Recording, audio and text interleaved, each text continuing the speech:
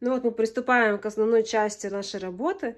Перенесли наш рисунок на акварельный лист. И теперь, прежде чем начать работать, мы смочим наш акварельный лист с двух сторон и приклеим его к планшету. Сначала смачиваем с обратной стороны. Не жалея воду, чтобы она такая влажная поверхность была.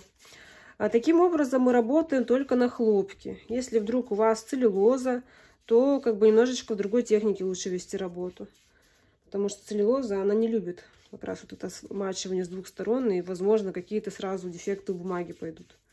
Признаться, я раньше, кстати, и работала и таким образом, то есть смачивала и работала на целлюлозе, но не каждая бумага выдерживает. Некоторая нормально, а некоторая как бы себя плохо ведет. Вот. Потом мы смачиваем с лицевой стороны, чтобы наш листик плотно приклеился к столу.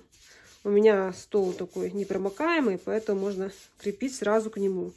А так, конечно, лучше и удобнее использовать какой-то пластиковый планшет или оргстекло и к нему уже приклеивать лист. Поэтому э, советую вам приобрести какой-то планшетик непромокаемый и пользоваться им на постоянку. Потому что с планшета гораздо удобнее. Можно наклонить его, чтобы краска потекла в нужную нам сторону. Как правило, я обычно работаю с планшетом. И вот, приклеили наш листик. И сейчас он немножечко будет впитывать воду, и мы с вами поговорим о цвете, который будем использовать в этой работе. Ну и так вот, вот это то, что мы будем использовать на уроке. То есть я сейчас перечислю еще раз вам.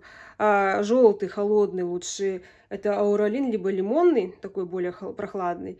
А, золотистая темная, голубая, неоновая розовая или там а, опера розовая можно взять, кобальт синий и зеленый. Это вот колорит, который мы будем использовать. И всегда как бы себе планируйте, что вы хотите получить с помощью этого колорита. Потому что по-разному краски себя проявляют. Допустим, лимонный кадмий, если лимонный, не просто лимонный, а кадмий лимонный. При смесях она будет давать такую немножко мутноватость, немножко такую прибеленность, потому что свойства пигмента такие. А ауралин по-другому будет себя вести, он более прозрачный, будет именно бумагу просвечивать. И поэтому в пигментах нужно разбираться, и на курсе у нас прям целый раздел этому посвящен, когда мы будем свою собственную палитру составлять, изучая свойства. И это очень сильно облегчает потом жизнь. Уже нету такого, э, как бы, нервности, когда мы не знаем, какие цвета намешать, а если намешиваем, у нас получается не то, что мы хотим. Допустим, намешайте красивый серый. Вроде смешиваем там, как положено, желтый с фиолетовым, получается какая-то грязь, а не серый. Это потому, что не те пигменты взяли. И вот поэтому с этим вопросом очень полезно разбираться. Так, ну и вот у нас уже немножко работа подсыхает. Нам нужно по-сухому писать. То есть мы сейчас просто возьмем и салфетками цветочек нас хорошо высушим. Чтобы не было там луж. Потому что будем сейчас заливочки делать. Прям как будто пишем по-сухому. Чтобы было больше контроля. И это пробовать, попробуем в один слой хорошо эти заливки уплотнить. Ну и начинаем работать уже над цветочком. Кисточку взять нужно с мягким ворсом и острым кончиком. Такую не сильно крупную, чтобы было удобно работать. Ну и не совсем тоненькую. У меня где-то, наверное, пятерочка или шестерочка. И начинаем мы вести работу от теплого, светлого, к уже к более плотным тонам. Разводим свой желтенький. И начнем с желтого заливку делать, с серединки. Видим, да, что у нас серединка так светится, солнышком освещенная, там много-много такого теплого желтого цвета. Вот сейчас я прям желтеньким заливаю. Причем оставляю, смотрите, беленькие где-то промежутки, потому что где-то там он сияет так, что даже вот белым видно. Сейчас я еще немножко залью вот желтый как бы отблеск на лепестках. Здесь, здесь. В общем, она как бы вливается в лепестки. Немножко промою. Лишнюю воду я всегда выбираю об салфетку. И немножко мы сразу это растушуем. Еще у нас тоже здесь такой теплый подтон есть. Только не пережелтите. Такой должен быть теплый, но не прям совсем уж ядреный желтый. Иначе потом э, краску будете выводить, и цвета искажаться сильно будут. Нам нужно только теплоту создать, игру такую. И здесь немножечко. До конца не заливаю, только вот вокруг, получается, серединки нашей. Можно немножко еще вот здесь внести. Ну, совсем-совсем светленьким тоном. Там у меня получается такая игра эм, в оттенках от розового к фиолетовому, немножко голубому. И мне выгодно, чтобы у меня все сразу это на палитре было. Поэтому вот я набираю побольше розового, вот этого яркого своего. Потом добавляю кобальта синего тут же рядом, с другой стороны. Но не смешиваю их на палитре. Вот видите, у меня с одной стороны розовый, с другой стороны синий. И где-то в серединке я буду делать смеси. В зависимости от того, какая мне нужна, буду двигаться вверх или вниз. Ну, начинаю я, конечно, с более розового. Потому что к синему вернуться легко, а вот к розовому мы уже не вернемся. Начинаю заливать. Ловлю форму лепестков. Если где-то там какие-то белые каемочки, то их, конечно, сразу нужно оставлять. Тут мне прям хочется еще порозовее даже сделать. Немножечко вот порозовее. А, ну, вы видели, да, что эти цветочки, на самом деле, они такие больше, конечно, васильковые, синие, но когда они освещенные солнцем, начинают они играть. И там оттенки такие более красноватые, розоватые появляются. Когда вживую кто их видел, тот знает, что тогда у них оттенков уже больше. И мы, как художники, это можем преувеличивать, то есть э, усиливать какие-то эффекты. От этого наши картины будут более выигрышно смотреться. Поэтому выгодно наблюдательность развивать свою и в картины при, привносить больше цветовое, цветовое разнообразие. Это вот, кстати, такой тоже интересный момент. Но сейчас я что делаю? Набираю тон. А, пока светлое, потом буду уплотнять. И тоже выгодно уплотнять его сразу посильнее, чтобы ну, в качестве экономии времени. Конечно, можно решить все послойно, но когда мы работаем меньше слоев, то у нас работа, как правило, получается более чистыми и звонкими. Потому как в один слой ты сильно не замучаешь. А вот много слоев, когда подряд накладываешь, тогда да, можно и замучить работу. И уже слоя, эти краски просаживаются некоторые. Не всех все хорошо ведут, когда послойными пишешь.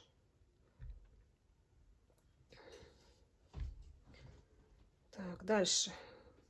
Немножко яркий, ну. Уплотнить, уснить я всегда могу, поэтому вот я прям даже проложу сначала розовый. Потом уже буду добавлять в него более фиолетовый цвет. И вот тональное видение, оно, в принципе, тренируется со временем. Его нужно развивать, потому что тон – это такой базис в картине после формы и композиции, это вот такой следующий важный момент, который, э, развив тональное видение, как раз и улучшаются работы. Это касается любой, любой техники, не только акварели, ну, без разницы, чем вы пишете. Если тональная работа хорошо выдержана, то она будет эффект соответствующий вызывать. Сразу будет привлекать внимание, все будут говорить, ах, какая красота, как настоящая, вы слышали? Вот когда тонально хорошо картины организованы, то да. Можно сделать, чтобы было как по-настоящему. А наш мир цветной, и мы часто смотрим, видим много-много цвета разного, но в тоне начинаем путаться, потому что все цвета имеют разную тоновую характеристику. Некоторые цвета априори светлее, некоторые априори, априори темнее по тону. И когда там, допустим, красная роза э, на фоне там чего-то, еще там какие-то желтые рядом, еще что-то. Или человек рисует, начинает все эти краски в полную силу использовать, и в итоге получается какое-то пестрое одеяло. Вместо того, чтобы получилась такая яркая солнечная летняя картина, получается какое-то пестрое одеяло и вызывает впечатление. А все потому, что по тону не разобрали. Поэтому тон, это очень важно.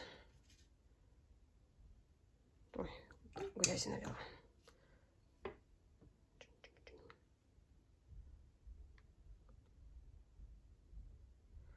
У меня сейчас прям что-то подсыхает, поэтому можно сразу-сразу сформировать вот эту серединку.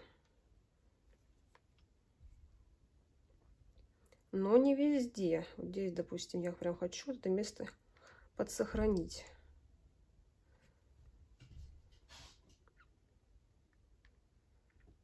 И вот лепестки, смотрите, пока я вот над ними еще поработаю, пока они не высохли. Можно сразу уплотнить им тон, то есть не ждать там высыхания слоя, чтобы повторно накладывать. Мы сейчас сразу возьмем, наберем побольше э, синего, немножко добавим красновато сюда. И вот такой более такой густой тон будем использовать для акцентов, ну, для уплотнения тона. видим, что здесь немножечко у нас посильнее такой акцентик. Можно его сразу и проложить. Вот здесь немножечко играет. Как-то она там изгибается, листик. Здесь потемнее, здесь посветлее. Здесь вот тоже вот это место касания может потемнее быть. Поэтому сразу можно это усилить. С этой стороны тоже можно сразу раз так. И смотрите, как бы такими движениями делаю. Мазочек положила, убрала кисточку. Мазочек положила, убрала не затираю ни в коем случае. Именно от затирания акварель выглядит потом э, невнятно и грязно, когда мы много-много вводим движений, исправлений. Она любит, когда ей оставляют какую-то вот именно свободный полет. Ну, здесь слишком я. Так, чикс.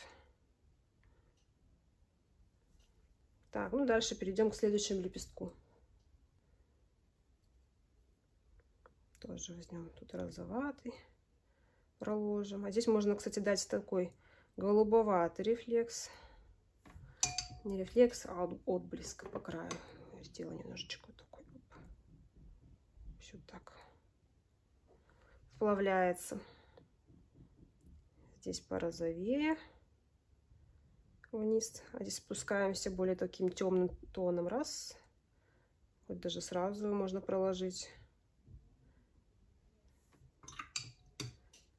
И вниз, промывая кисточку, спускаюсь своим более таким розоватым цветом. Чик-чик. И сразу набираю потемнее и даю оттенок вот здесь потемнее. Раз на кончике аккуратно. Акцент. И он немножко, смотрите, как бы вплавляется. И здесь еще нужен мазочек потемнее. Тоже набираю краску не слишком жидко. И даю вот так мазочек по форме. Не хватило, да, видите? Значит, еще раз набираю и еще раз попробую сделать так. Оп. Оп. Получается уже более-менее. Можно еще подчеркнуть. Вот так примерно. Немножко обобщаю. Сюда вот залазить не надо. У нас светленькая часть. Ну и вот этот вот кусочек будет лезть, и тоже надо его немножко приглушить. Поэтому тоже мазочек беру и вот его приглушаю. Вот так нормально. Далее близлежащий лепесток у нас такой голубоватый. Поэтому развожу немножко голубой беру и прохожу по нему.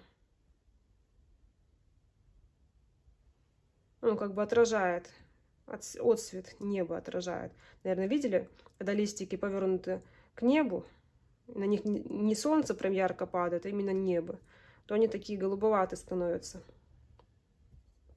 Светлые голубые, потому что отражают как раз небо. Ой, по краям немножко хочу ввести сразу. Розовинки ему. И вот тоже ему можно сразу же притянить тон. Даже можно другую кисточку использовать. Возьму я вот кобальт. И тон здесь усилю. Кисточку я сейчас взяла синтетику, чтобы она была немножко по... Меньше воды вся набирала. Тогда вот можно более контролируемо это сделать движение. Вот так. Чтобы ничего сильно не растеклось. Очень удобно. Ну, ну, уплотнять тон, когда именно а, оно мягко вплавляется, не растекаясь сильно. Даже если немножко так потечет, это ничего страшного, это же акварель. Иногда какие-то подтеки, они даже придают особый шарм. Конечно, когда совсем форма уплывает, то это расстраивает нас, но небольшие какие-то можно простить ей и даже ими пользоваться. Так, ладно, здесь мне сейчас, конечно, сложно сделать более такой жесткий край, поэтому сюда лезть не буду. Пойдем к следующему, вот к этому, рядом стоящему. Видимо, он такой самый темный, поэтому можно сразу понасыщеннее сделать розовый. И вот с этой стороны начнем заливать.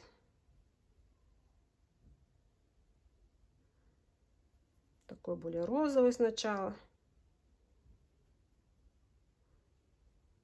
И постепенно он уходит в такой а, зеленоватый даже, да? Поэтому возьмем зеленоватый.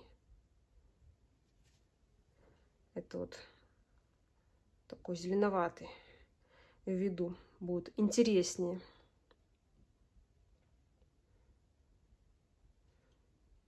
Это, видите, объемная такая форма. А, здесь у нас свет. Ну, как света такого, такого нету, как бы свой цвет собственный. А здесь рефлекс, а здесь у нас, собственно, тень идет. Как раз сейчас я наношу свет и рефлекс. И теперь сейчас буду делать тень, если получится сразу. И теперь сразу попробую другой кисточкой немножко уплотнить тень.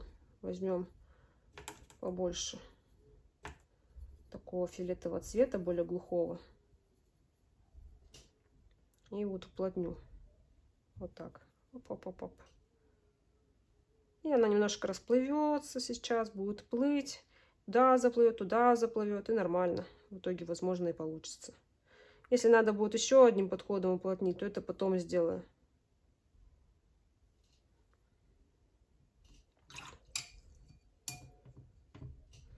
С этой стороны теперь. Тоже он такой более холодный. Возьмем больше синего. Лепесток, который закрытый практически от света. Вот а здесь мы сразу нанесем. Этот уже начинает подсыхать, поэтому, видите, край я могу сформировать какой-то немножко дрявый. Но полностью я его сформирую потом. Уже по сухому. Тоже, смотрите, до края не дохожу, потому что он что у нас там тоже зеленоватый. Вот теперь опять берем зеленый и добавляем по нижнему краю. Вот так. Оп. Добавила одним мазочком буквально. Сплавляется. Теперь можно тоже зеленоватым сделать таким светлым или желтоватым каким-то. Пройтись по стеблю сразу. Лучше немножко, конечно, поприглушеннее, чтобы он не был слишком яркий.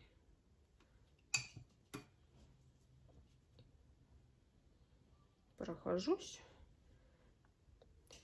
А, эти листики где-то немножко, они наоборот похолоднее. Сделаем такой светло-светло-голубой. И где-то тоже я их сразу так вот сделаю голубоватым, чтобы они Потом их выделить. Листики будем рисовать уже после того, как сделаем фон. Но подложку, вот именно э, те части, которые будут у меня светиться, я сейчас себе и намечаю.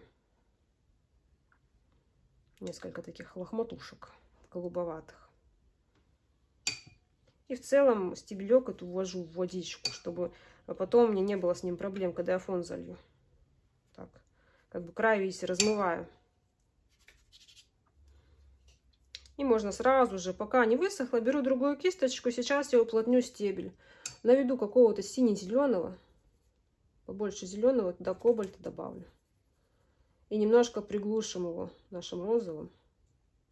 Получается вот такой плотный синий-зеленый цвет. Можно вот его вот так вот вести.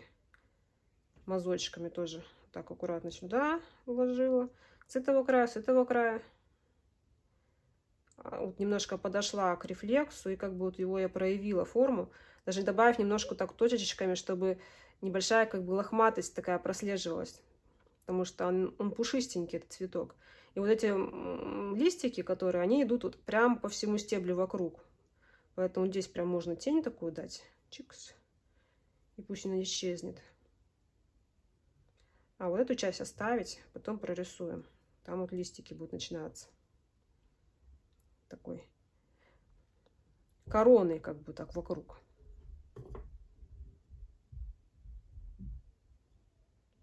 И здесь тоже. По краям и серединку оставила, чтобы мне можно было этот стебель сделать объемный. Так, а еще мы здесь забыли кусочек листика доработать. Там что-то у нас такое голубоватое светится. Так, и дальше уже более фиолетовый.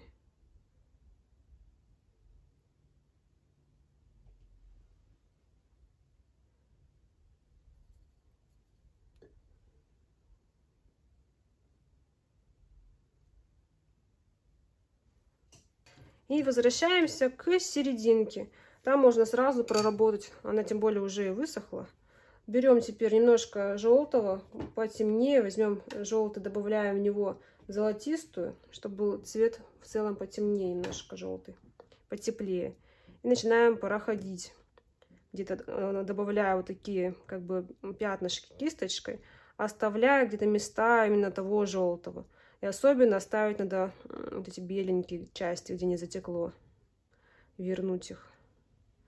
Где-то тут прям оставим, а где-то тут побольше закрасим. Вот, это второй слой. Дальше берем еще потемнее, более такой оранжевый.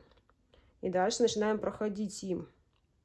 Тоже такими пятнышками ставим, чтобы у нас получился такой объемная серединка. И были там разные тона более такие светлые, э, светящиеся, средние и вот потемнее. И еще будет темнее даже. Где тут оранжевый, на самом деле он так вот выходит и какие-то там такие штучки образовывает. Если присмотреться, то видно в натуре. Там где-то я вот прям нарисую входящие. Вот так.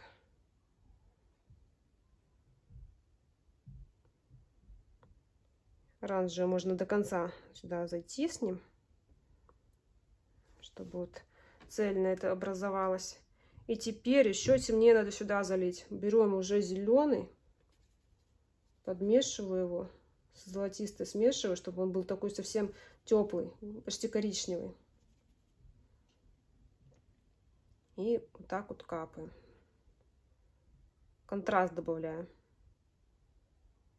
Это с этим уже аккуратнее, чтобы не переборщить, иначе вместо контрастных теней и объема получится просто мешанина такая темная. Поэтому здесь прям аккуратненько. Если сильно растекается, ну подождите, лучше это следующим этапом сделать.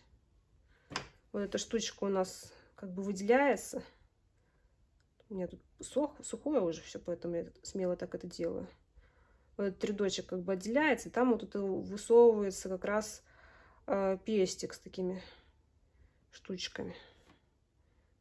И там что-то у него вот какая-то еще история происходит, поэтому здесь небольшое можно сделать затемнение как бы в центре. Провалим серединку сейчас темным цветом.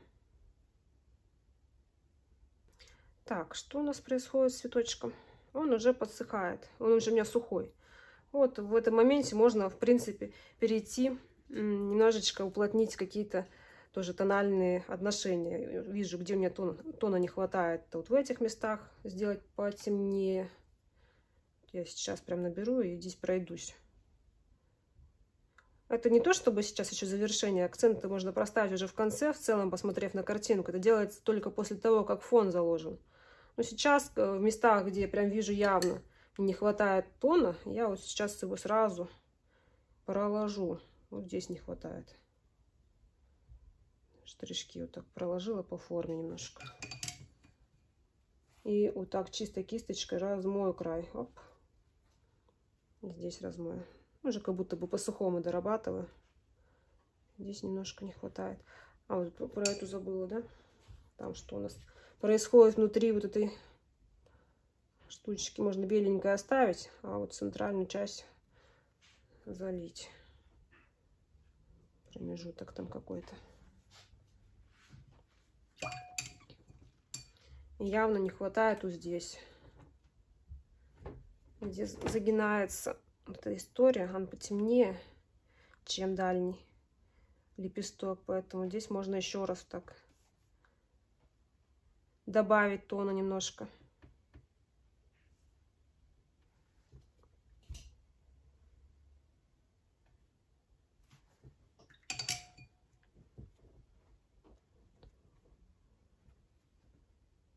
Полезно, кстати, для развития тонального видения делать упражнения, писать там монохромные пейзажи, э, свои работы переводить в черно-белый цвет, смотреть, как они там выглядят в черно-белом. Тогда ну, явнее видно просадки по тону, если они есть. У меня там целый урок такой хороший есть, где мы учимся как раз в монохроме работать и переводить потом цветные в монохром. Уже интересное такое будет задание. Так, вот здесь еще мне не хватает, да, немножко по тону. Тоже я сейчас сразу добавлю.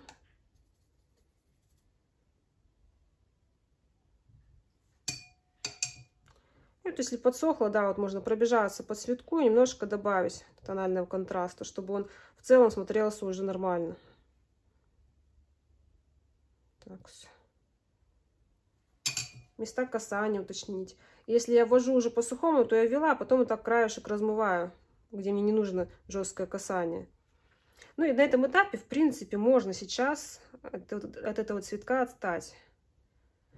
То есть я сейчас э, заливать буду фон, а после этого мы как раз на заливке фона с вами поговорим о таком важном самом этапе, или как это назвать, шаге, из-за чего именно техника акварельная будет улучшаться. Про картины мы с вами уже поговорили, э, про общие какие-то базисные понятия, которые касаются, в принципе, любой техники, даже не акварельной, от чего иллюстрации или работы будут более цепляющими.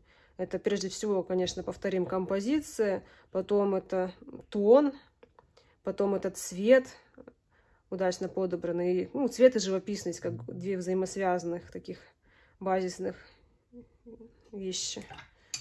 И вот сейчас при заливке фона мы с вами обговорим еще один такой важный шаг, который выдает прогресс именно в акварели.